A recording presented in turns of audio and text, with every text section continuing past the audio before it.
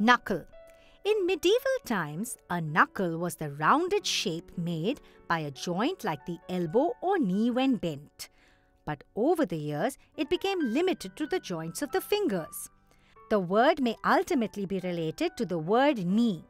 The word knuckle has its roots in the Proto Germanic term knockel, spelled K N O C K E L, which means finger joint.